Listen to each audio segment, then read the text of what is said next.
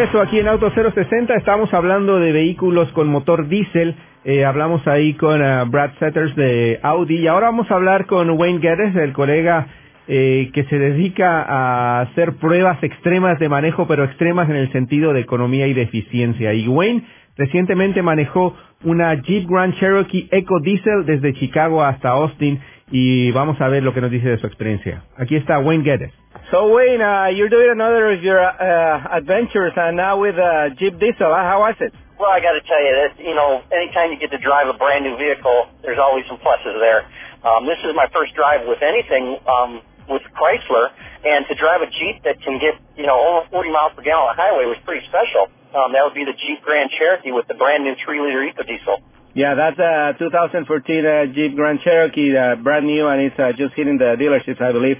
And uh, I understand that you drove nonstop from uh, Chicago to Austin, right? Well, it was almost nonstop. I made I made arrangements so I could get uh, a few hours of sleep somewhere, you know, in Oklahoma near Texas border before I uh, headed off in, for the next segment.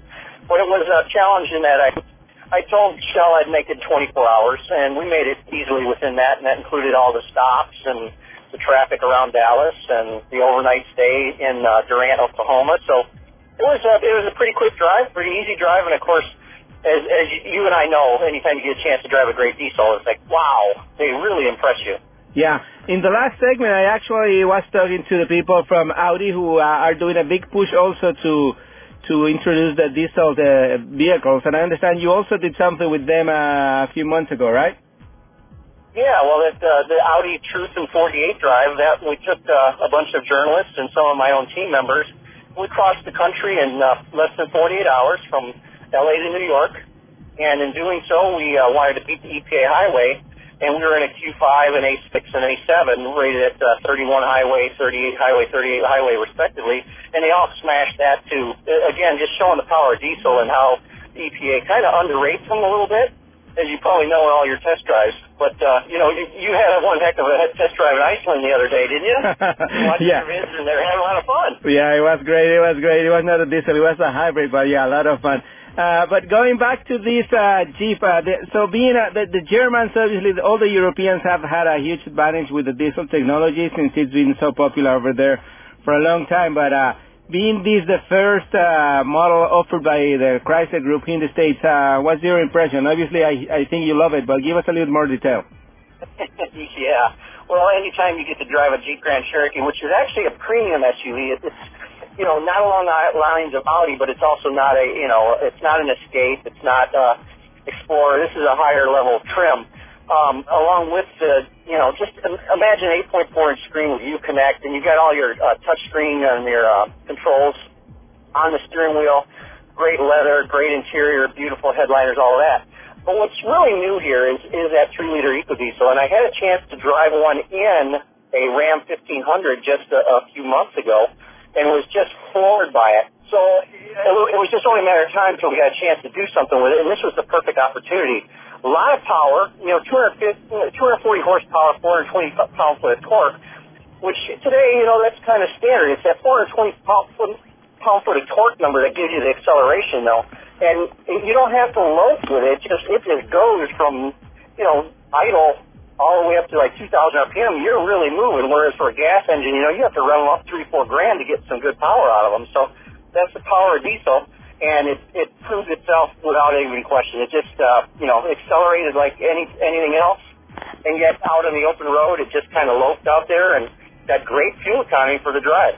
Yeah, and that's uh, some of the things that people still don't know a lot about diesels, right? Like great uh, fuel economy, great driving, and, um, and also there's no noise, there's no smoke, there's nothing, right?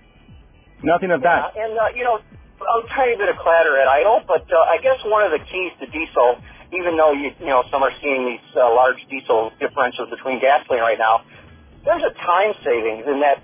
Imagine this diesel, which just went 1,118 miles without refueling at 42.6. If I was in a gas engine, there'd been maybe 700 miles. Every week that I would have to fill up a gas car, that could go to a week and a half in the diesel.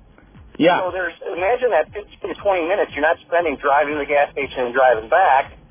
just because you're driving a diesel, there's a there's a huge time segment, or it's, uh, and, and you know you got to say time is quality here, and it's uh, it's something that the average consumer just doesn't put together. Yeah, and also uh, being that it is like so efficient as you have so much range, uh, that also like er- erases the anxiety of not finding a gas station that has diesel, right?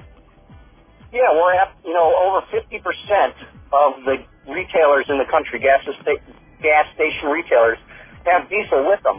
And of course, um, since this was a Shell sponsored drive, I used I used the Shell app to find out the nearest stations. And I went from the Chicagoland Speedway to the Circuit of Americas in Austin, Texas.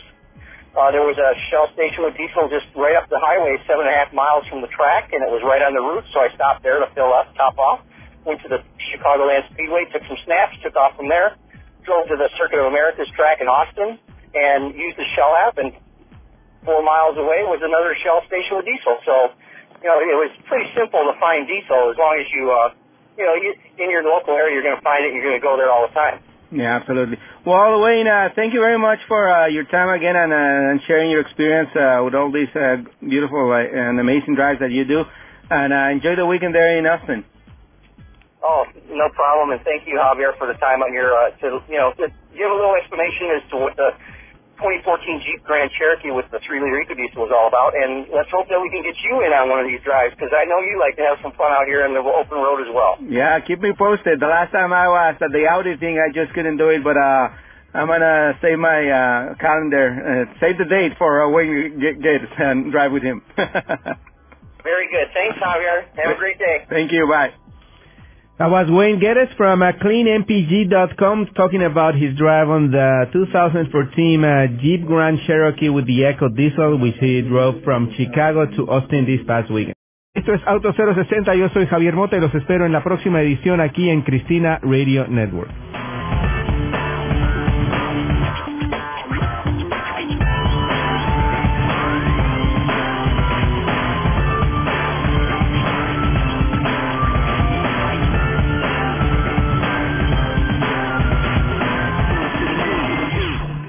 Este programa fue una producción de National Latino Broadcasting.